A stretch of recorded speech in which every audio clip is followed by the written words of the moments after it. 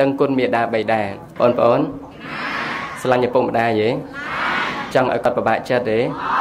ចង់ឲ្យគាត់ទឹកភ្នែកដោយសារយើងទេចង់ឲ្យគាត់ឈឺចាប់ដោយសារយើងទេចង់ឲ្យគាត់ក្រដោយសារយើងទេចង់ឲ្យគាត់លហេមលហាមដោយសារយើងទេអញ្ចឹងបងប្អូនត្រូវធ្វើយ៉ាងម៉េចត្រូវតែបំពេញគោលបំណងគាត់ដែលគាត់ខំប្រឹងប្រែងបែកញើសបែកឈាមដើម្បីឲ្យលុយបងប្អូនមករៀនមួយថ្ងៃ1000ក៏ដោយមួយថ្ងៃ2000ក៏ដោយ តែយើងគិតមើលវិជាញើសឈាមរបស់គាត់មែនអត់បិចម្ដាមនេះហ៎បងប្អូនឃើញអត់ឃើញអត់ត្រូវយកបិចម្ដាមនេះទៅសងគាត់ឲ្យគ្រប់វិញណាយល់ទេចឹងយយកបិចទិញពីគេ5រៀលទៅលក់សងគាត់មិនគ្រប់ហ៎មិនមែនបានន័យចឹងទេ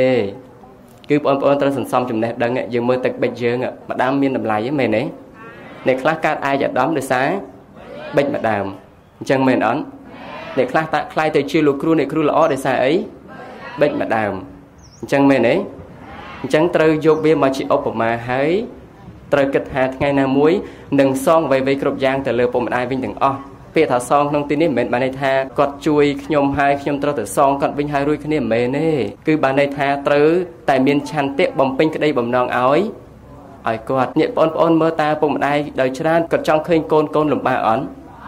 គាត់ចង់ឃើញកូនកូនគាត់ថាជីវិតគាត់នឹងវាលំបាកទៅហើយតែគាត់ចង់ឲ្យកូនគាត់អញ្ចឹងទៀតទេបងប្អូនគ្រាន់ហើយមិនមែនឆ្លើយថាមករៀនបានមួយថ្ងៃ2000អាត្មាណាទៅរៀនថ្នាក់ទី5ទី6ដាក់ដកផ្សិតច្បាងមកថងបានតែ500ទេហើយជីកង់នឹងចង់លេនដាតអញ្ចឹងសួរថាតើអ្វីដែលជាតម្លៃនៃការតបស្នងអ្វីដែលជាតម្លៃនៃការតបស្នងទៅលើឪពុកម្ដាយគ្រឿងញៀនទេដែលជាតម្លៃនៃការតបស្នងគ្រឿងសវឹងទេដែលជាតម្លៃនៃការតបស្នងពួកគាត់ តើសង្សារបុណ្យក្តីស្រឡាញ់នឹងទេជាតម្លៃនៃការតបស្នងពួកគាត់ថាអត់ទេចឹងមែនទេបងប្អូនរក្សាក្តីស្រឡាញ់មួយនេះដោយច្រើនចំពោះខ្លួនឯងហើយត្រូវចែករំលែកទៅលើឪពុកម្ដាយបើបងប្អូនគិតថាខ្លួនឯងខុសចំណុចអ្វីមួយតើយើងគួរតែកែខ្លួនតបទៅគាត់វិញបែបណាថាគ្មានអ្វីដែលយើងត្រូវដើរក្រៅពីការបំពេញគោលបំណងរបស់គាត់តែគាត់ចង់ឲ្យយើងខ្លាចទៅជាមនុស្សយ៉ាងម៉េចនៅល្អឬមនុស្សអាក្រក់ សូមអនុមោទនានឹងបងប្អូនគឺជាសិស្សល្អជាប្រជាពលរដ្ឋល្អហើយក៏ជាសាវករបស់ព្រះសម្មាសម្ពុទ្ធល្អដែរដូច្នេះបងប្អូនថ្ងៃ14កុម្ភៈគឺជាថ្ងៃនៃសេចក្តីស្រឡាញ់ចូលបងប្អូនរក្សាសេចក្តីស្រឡាញ់មកលើខ្លួនឯងឲ្យបានច្រើនហើយបើសិនជាអាចត្រូវចែករំលែកក្តីស្រឡាញ់នេះទៅលើលោកគ្រូអ្នកគ្រូទៅលើពុកម្ដាយទៅតាមសកម្មភាព រូបភាពណាដែលបងប្អូនអាចធ្វើទៅបានពោសូមអនុមោទនាអញ្ចឹងបងប្អូនព្រឹកនេះយល់ថាចង់និយាយពីអីយល់ទេយល់អត់យល់ទេអ្នកខ្លះយល់អញ្ចឹងដែរណាប៉ុន្តែគេយល់ដែរដូចឧទាហរណ៍ដូចរឿងគុណមេដាបេដាអញ្ចឹងក្មេងៗយើងមួយចំនួនច្រើនគេជឿទៅលើថាមេដាបេដានឹងអត់មានគុណទេមេដាបេដាមានគុណអត់មានចាំមិនគេថាអត់ចុះ មកបងប្អូនណាអាចឡើងមកនិយាយបានទេអ្នកណាមកស្ម័គ្រចិត្តអូខេតោះទេដៃឲ្យគ្នាយើងមួយ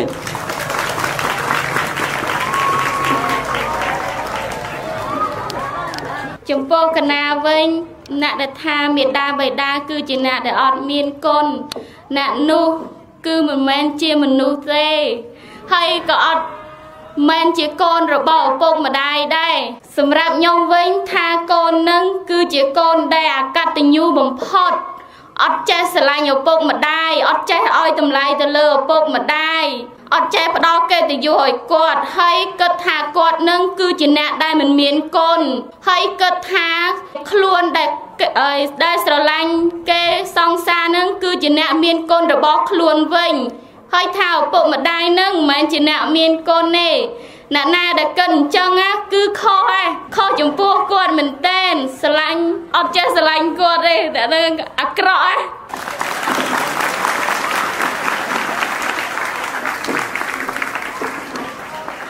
អ្នកនេះអ្នកខ្លះគេដោយសារគេយល់ថា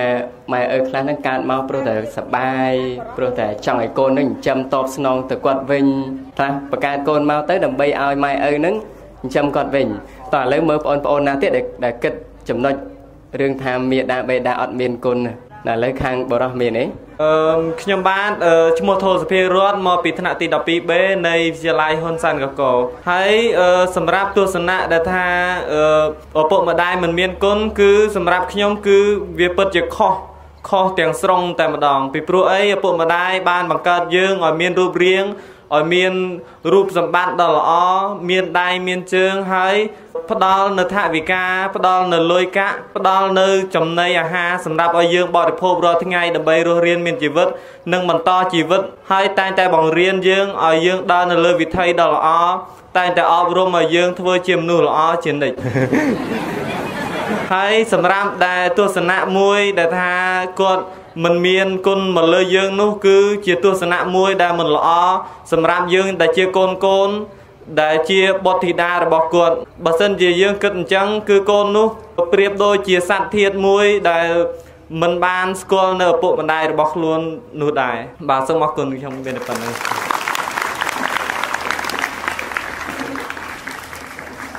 សូមអនុមោទនាណែ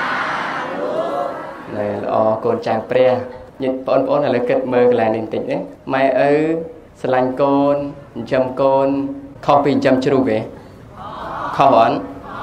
ស្រឡាញ់កូនខុសពីស្រឡាញ់ជ្រូកទេចិញ្ចឹមកូនខុសពីចិញ្ចឹមជ្រូកទេជ្រូកគេចិញ្ចឹមយកអីជ្រូកគេចិញ្ចឹមយកអីគាត់ទោះបីជាឲ្យបាយទឹកទៅសัตว์ គាត់ចិញ្ចឹមសត្វឲ្យមានជីវិតឲ្យបាយឲ្យទឹកឲ្យចំណីទៅសត្វមែនប៉ុន្តែអ្វីដែលគាត់ផ្ដល់ទៅឲ្យសត្វហ្នឹងវាខុសពីចិញ្ចឹមកូនមែនអត់ឧទាហរណ៍អញ្ចេះបងប្អូនដែលឮថាមេដាបេដាចិញ្ចឹមជ្រូកហើយឲ្យបាយឲ្យទឹកដល់ទៅដល់ខែដល់វេលាគាត់លក់ទៅដល់ទៅថ្ងៃក្រោយគាត់លក់ជ្រូកនឹងទៅបាត់ហើយគាត់ដែរមានថាអូជ្រូកអើយសុខសប្បាយអត់ដែលមានអត់ជ្រូកអើយតែឯងតាំងពីទៅចោលយើងតែឯងមានក្តីសុខយ៉ាងណា អត់មែនអត់មានតែចិញ្ចឹមជ្រូកនឹងយកជ្រូកទៅលក់យកលុយមកឲ្យកូន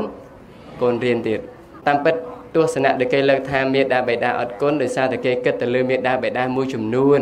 ដែលអ្នកខ្លះបង្កើតកូនឲ្យចោលអញ្ចឹងបងប្អូនមានអញ្ចឹងអត់មានអញ្ចឹងអត់ប៉ុន្តែចំពោះទស្សនៈពុទ្ធសាសនា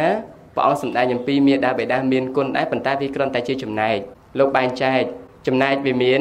មានគុណទី1គឺតេតងទៅនឹងគុណនៃការចិញ្ចឹមមួយទៀតអត់មានគុណចិញ្ចឹមតែមានគុណក្នុងការបង់បង្កើតអញ្ចឹងមែនអត់បងប្អូន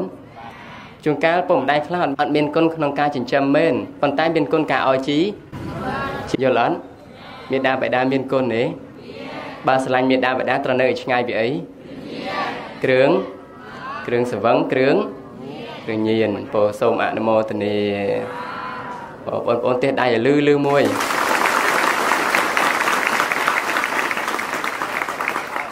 ហ្នឹងហើយឥឡូវចំពោះថ្ងៃ14កុម្ភៈមានបងប្អូនណាបដិញ្ញាចិត្តថាយ៉ាងម៉េចខ្លះបន្ទាប់អំពីការស្ដាប់ធម្មទេសនានឹងយល់តើលើបើមាននេះសូមឲ្យឡើងមកនិយាយបាន2នាក់ទៀតបដិញ្ញាយ៉ាងម៉េចខ្លះចំពោះលោកគ្រូអ្នកគ្រូ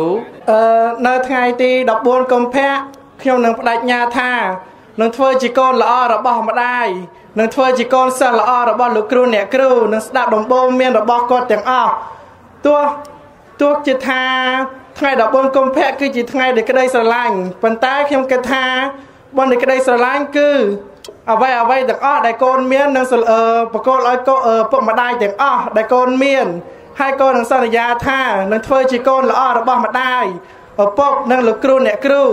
នឹងស្ដាប់ដំបូងមានរបស់លោកគ្រូអ្នកគ្រូទាំងអស់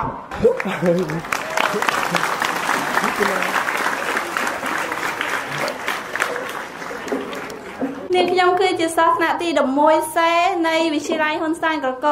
ហើយថ្ងៃនេះផងដែរនាងខ្ញុំក៏សូមបង្ហាញនៅចំណាប់អារម្មណ៍នៅថ្ងៃទី14កុម្ភៈនាងខ្ញុំបដិញ្ញាចិត្តថានឹងមិនយកថ្ងៃទី14កុម្ភៈមកកែប្រែប្រពៃណីនឹងឲ្យមានការប៉ះពាល់ដល់ប្រពៃណីខ្មែរទេអឺគឺប្រើប្រាស់ប្តីក្តីស្រឡាញ់នៅក្នុងថ្ងៃ14កុម្ភៈឲ្យទៅជាថ្ងៃល្អសម្រាប់អ្នកគ្រប់គ្នាដែលនៅជុំវិញខ្លួន ដូចជាការចែករំលែកក្តីស្រឡាញ់ចំពោះមិត្តភ័ក្តិអ្នកមានគុណឪពុកម្ដាយឬលោកគ្រូអ្នកគ្រូពីព្រោះក្តីស្រឡាញ់មិនកំណត់ថាចំពោះតែសង្សារនោះទេគឺយើងអាចចែកក្តីស្រឡាញ់របស់យើងទៅអ្នកគ្រប់គ្នាអញ្ចឹងបើសិនជាយើងយកថ្ងៃទី14កុម្ភៈហ្នឹងដើរទៅរកផ្លូវខុសនឹងអាចបំផ្លាញអនាគតយើងពេញមួយជីវិតរវាងផ្កាកុលាបមួយតងហើយខ្ញុំអត់ចង់បានការកលាបហ្នឹងទេអញ្ចឹងមនុស្សជា ជាពិសេសចំពោះមនុស្សស្រីគ្រប់រូបយើងត្រូវគិតថាផ្កាកលាប់មួយតងបើសិនជាយើងប្រាប់បើសិនជាបរោះឲ្យផ្កាកលាប់យើងមួយតងហើយយើងដើរផ្លូវខុសដូចជាជ្រុលជ្រោះទៅធ្វើឲ្យប៉ះពាល់ដល់ប្រពៃណីខ្មែរអញ្ចឹងសំបីតែវប្បធម៌បរទេសក៏គេអាចមើលងាយយើងដែរអញ្ចឹងនេះខ្ញុំសូមនិយាយចំពោះសៃសៃផ្ទាល់អញ្ចឹងយើងត្រូវគិតថារវាងផ្កាកលាប់មួយតងហើយនិងផ្កាស្លាតែយើងចង់បានមួយណាចាបើសិនជាយើងចង់អញ្ចឹង ជាចុងក្រោយនាងខ្ញុំក៏សូម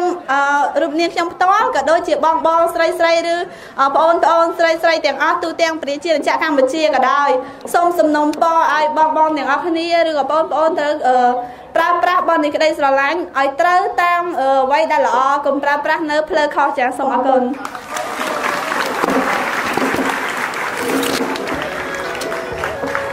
ពោសូមអនុមោទនា អូនចេះដឹងច្រើនណាទាំងអស់គ្នាហ្នឹងចេះចេះហ្នឹងមែនទេឆ្លាតឆ្លាតណាស់ណា